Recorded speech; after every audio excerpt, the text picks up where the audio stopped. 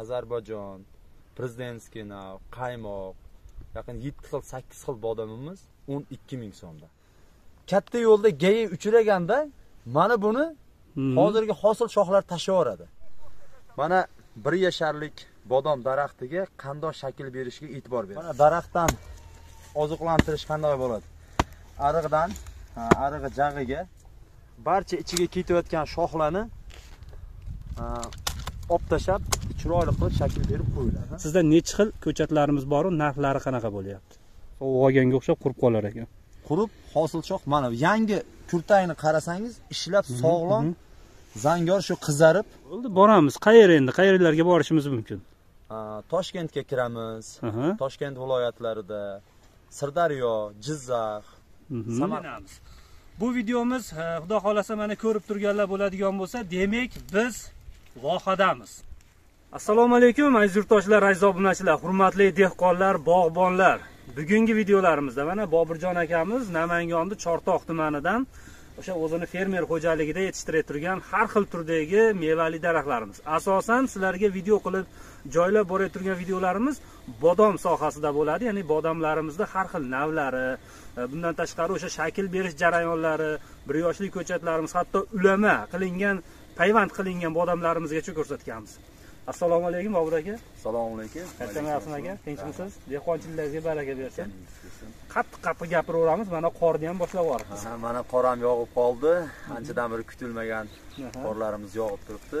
Assalomu alaykum yurtdoshlar. Sizlar bilan anchadan beri uzilishib qoldik. Juda ko'pchilik "A, umid akadan nimaga chiqmay qo'ydingiz? Aytishadi tortishib urushib qoldinglarmi yo kelishim yo'q bizda bunaqa narsa yo'q.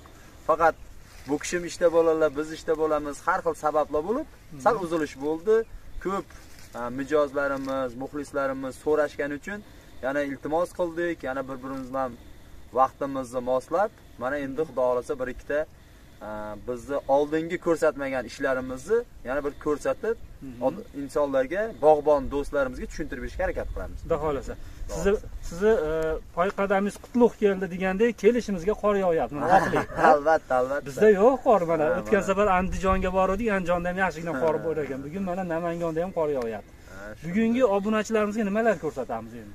Bugungi obunachilarimizga bog'bonlarimizga mana ko'chatlarimiz ha, tayyor hozir sotuvga har xil bodom turlarida va shakl berish va ko'pchilik oziqlantirish so'rashyapti. Tagidan oziqlantirish. Aha. shularni. Keyin daraxtni shakl bermasa qanaqa hosil shoxini tashlab yuborishni ko'rsatib beramiz. Ataylab biz tegmay turganmiz bir yil ikki yil daraxtlarimiz tegilmaganda nima sabab kelgusida nima muammoga uchrashini. Hmm, demak anaqa eksperiment qilinyapti ha shularga ko'rsatib boriladi sinov tariqasiga qo'yib berilgan keyin juda ko'pchilik telefon qilishadi mana kanallardan nomerimizni olib turib buni urug'idan jo'nating biz urug'idan chiqazamiz urug'idan lekin chiqmaydi faqat tayvand usulida bodom navga aylanadi to'ppa to'g'ri oldingi videolarimizda bu narsalar haqida ko'rsatilgan yana so'rashaverishadida shuni urug'idan chiqmasligi bu e, ko'chatlarimizni tag qismi o'sha achchiq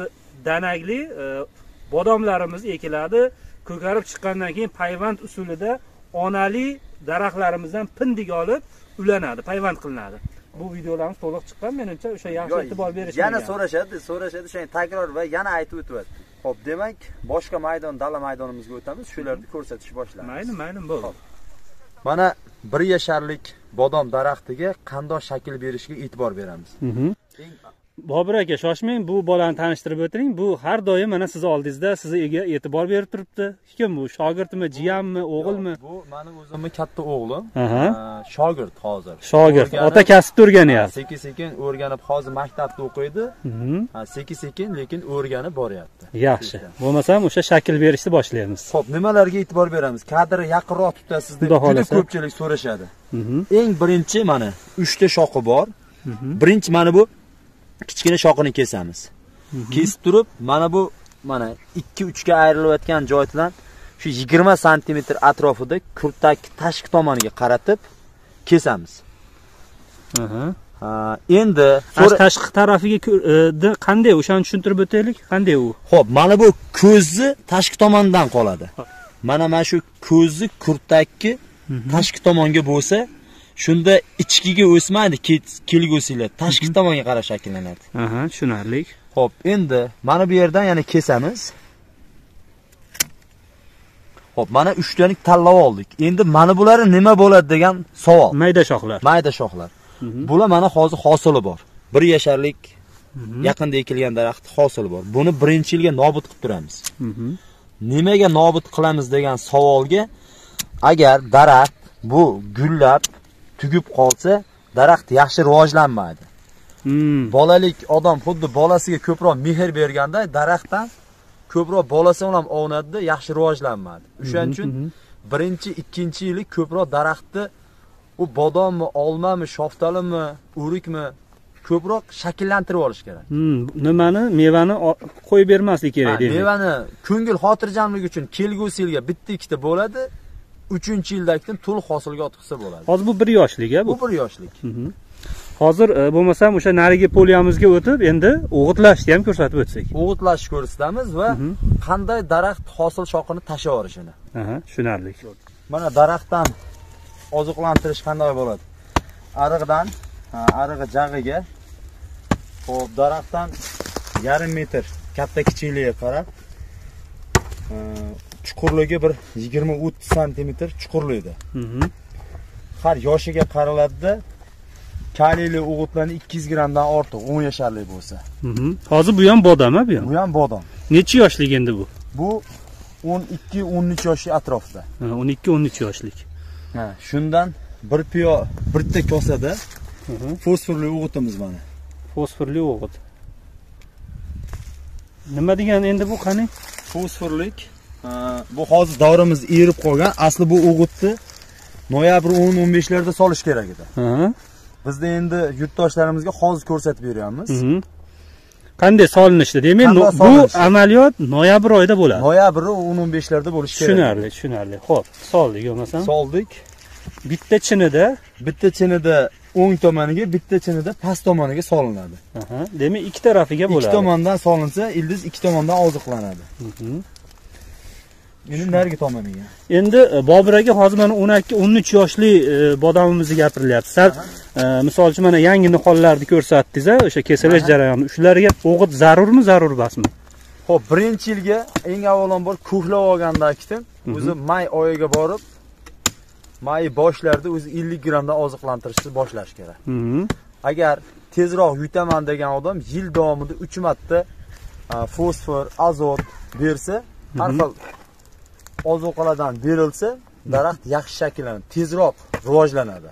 yoshiga e, misol uchun yoshi o'tgan sari yoshi ko'paygan sari qanchadan o'g'itlarimizni qo'shib boramiz Yiliga a, birinchi, ikkinchi yillar deylik 100 grammdan boshlansa, a, Mhm. 5-chi, astodil 4-chi, 5-chi yilda Mhm. to'liq kuchga to'lgandan keyin o'zi mevalari ham bo'ladi unda kiloga yutib olsa yaxshi bo'ladi. Ha kilolar Ha, berilaveradi imkoniyatga qarab 1 kilo 1 kilodan berish kerak. Har bir tupimizga. Har bir tipiga Mhm. tushunarli. Shunda hosillarimiz sifatli yirik bo'ladi.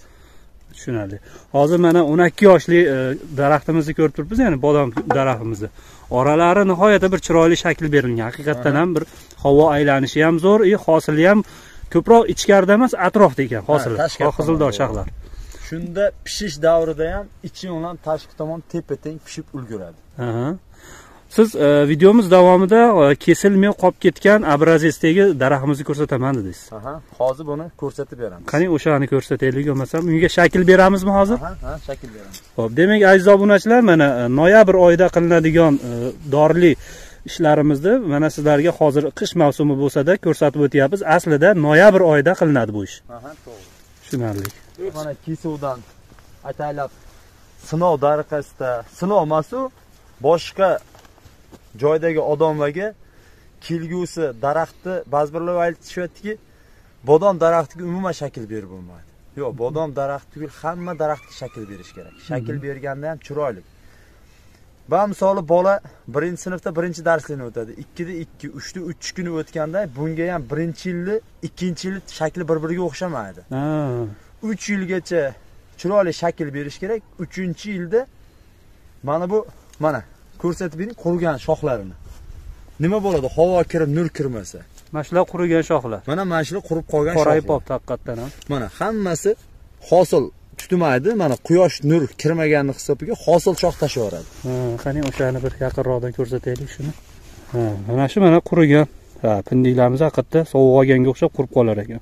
qurib hosil shox mana yangi kurtagini qarasangiz ishlab sog'lom zangor shu qizarib bo'rtayib turibdi Yangi kurtagimiz. Demak, bunga hozir shakl berishni ko'rsatamiz. Bu necha yoshlik? bu hozir 3 yoshdan 4 yoshga o'tdi demak 4 yillik, 4 yoshdagi shaklni beramiz bunga. endi 4 yoshdagi daraxtga ustidan qaytarilmaydi Mhm. boyagi 1 yoshli daraxtni kesganimizdan uchidan faqat buni ichki tomonini ochamiz Ha, demak havo aylanishini shakl beramiz. ha mana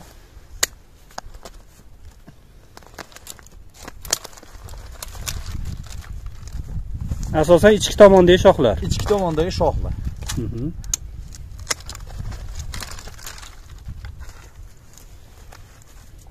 barcha ichiga ketayotgan shoxlarni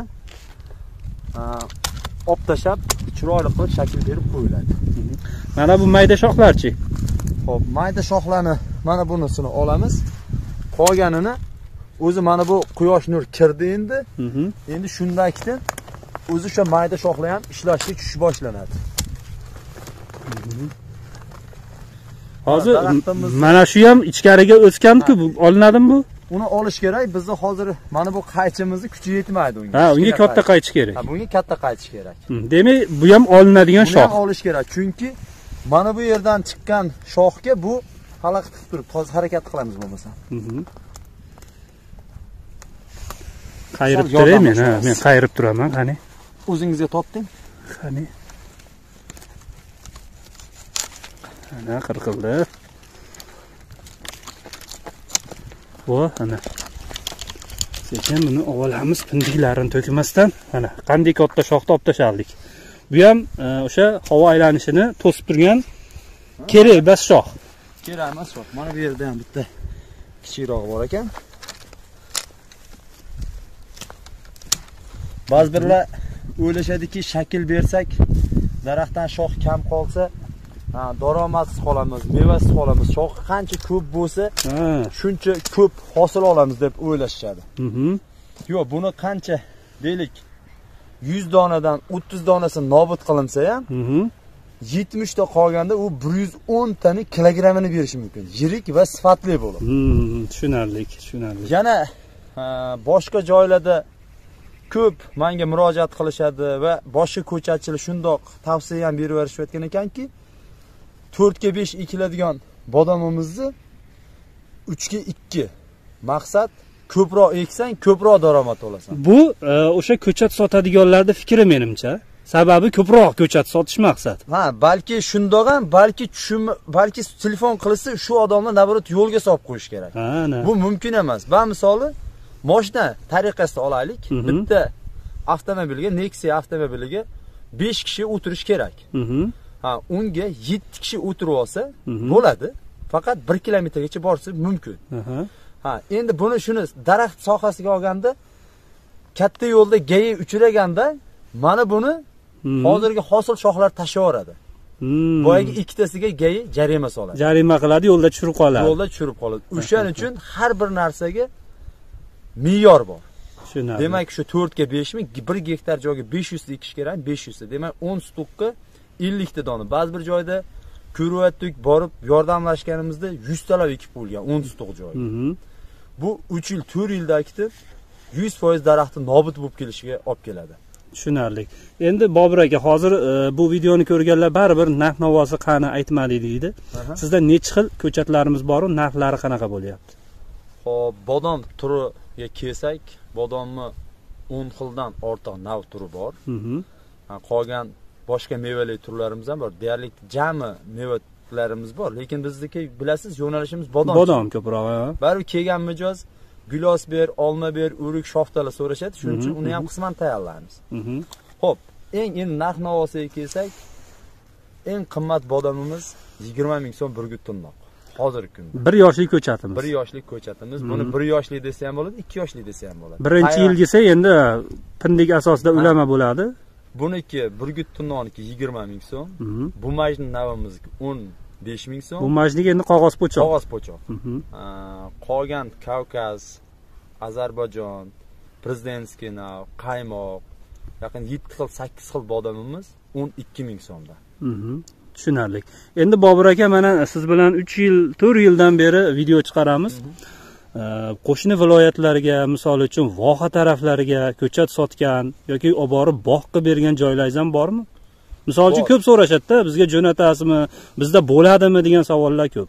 Man butun o'zbekiston bo'ylab ko'chat jo'nataman. O'zbekiston o'rta osiyo bo'ylab. Mana agar xohlasangiz man sizni boshqa viloyatdagi qilgan ishlarimizni bog' qilib bergan joylarimizni va tavsiya berayotgan joylar yetib borgan joyimizni ekib beramiz yetib borgan joyimizni shaklini beramiz. Qolganini telefonda qilib beramiz shaklini. O'shalarni agar xohlasangiz olib borib sizga va yurtdoshlarimizga ko'rsatib beramiz. Bo'ldi boramiz. Qayerga endi? Qayerlarga borishimiz mumkin. Toshkentga kiramiz. Toshkent viloyatlarida sirdaryo jizzax samarqandgacha bu yoq qashqador butun xorazm qoraqalpoqlarda ham bor. Endi uzoqlashib ketmaylik bu yerda ishlarimiz ham bor. Shuning uchun bo'ldi bo'ldi bo'lmasam bugun men e, namangonda qolaman ekanda bo'lmasam. Ertaga kecha mehmon bo'lib ertaga demak bir viloyatlarda aylanib aylanib u yerda inan so'rashyaptiki bu bodom daraxtini kapilniga olsa bo'ladimi? Aha ana. Hatto o'shalargacha olib borib ko'rsatamiz. Bor a shunaqa joylar xuddi shunaqa maydonlarimizni olib borib Mhm. ko'rsatib hammasini ha, yutuq kamchilar. Chunki bizga u yerlar ham yangi yer bo'lgani uchun Mhm. biz u yerlarni ob havosini kelgusi hozir man ham xato qilishim mumkin. Man chunki agronom emasman olim emasman professor emasman. Mana hamma qilayotgan ishim hayotiy tajriba. Mhm. tajribamdan kimdir foydalansa biz ham xursand. Bizga ham Mhm. kamchiligimiz bor. Sekin sekin to'ldirib boramiz. Tushunarli. Mana aziz obunachilar bobur akamizni namangan viloyati chortoq tumanidagi bog'lari bilan ham tanishib o'tdik. Xudo xohlasa mana bobur akamiz taklif qilishyapti ya'ni samarqand viloyatiga cho'r bo'lgan jarayonlar ya'ni toshkent sirdaryo jizzax viloyatlariga kirib bobur akamizni yordamida tashkil bo'lgan bodom bog'larimizni bevosita sizlarga ilinamiz. Bu videomiz e, xudo xohlasa mana ko'rib turganlar bo'ladigan bo'lsa demak biz vohadamiz. Sog' bo'linglar salomat bo'linglar. Albatta laykni bosib kanalimizga obuna bo'lib qolishlaringizni so'rab qolaman.